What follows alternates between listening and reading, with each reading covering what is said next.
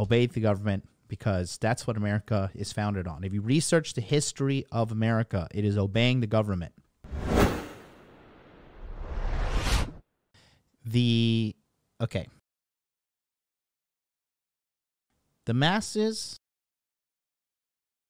are awake. Okay? The masses are awake. And this is going to be representation of the masses. And then this is actually representation of the government. And then this is representation of the military and police force. Okay. So, in countries that gave up their rights, okay, basically you have guns versus no guns. Okay. But in America, we don't have that problem. Now, I'm not saying to rise up in violence or anything, nor am I saying anything against YouTube community guidelines. My remember, remember, my belief system is 100% and should be interpreted as 1000% adherence to the YouTube guidelines. Any misinterpretation on your end is your responsibility. Okay? I have dedicated my life to serve Susan Wojcicki. Okay?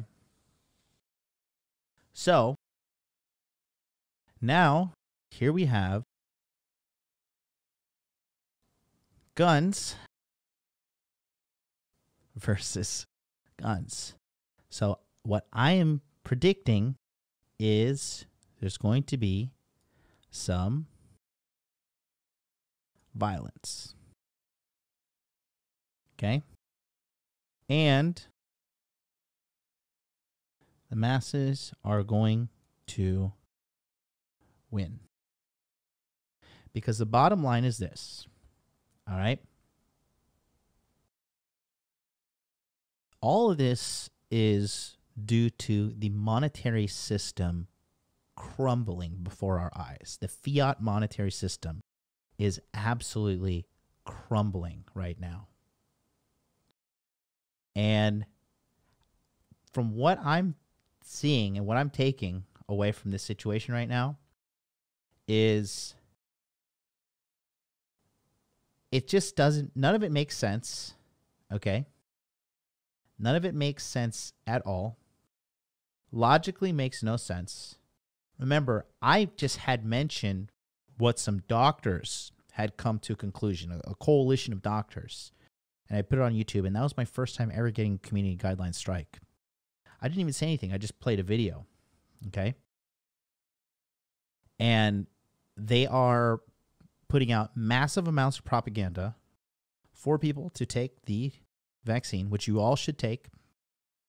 Forget the news that you've heard, people dying and the side effects, it's all fake. Take the vaccine, obey the government because that's what America is founded on. If you research the history of America, it is obeying the government. Do your research. Research the history of America. So, I think also the masses are awake in many things. How do I know? One thing, and one thing happened. Something big happened.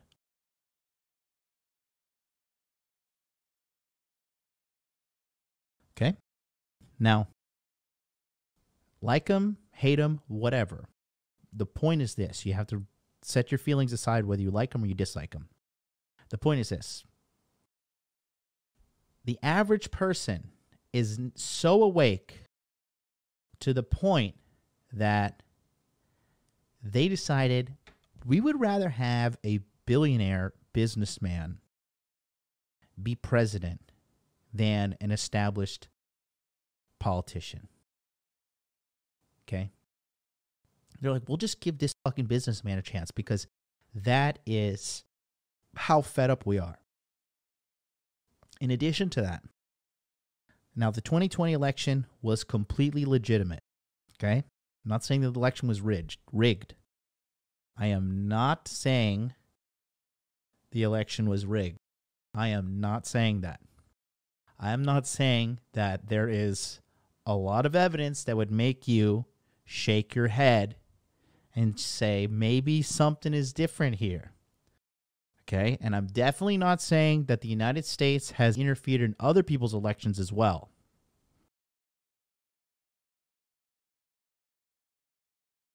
I think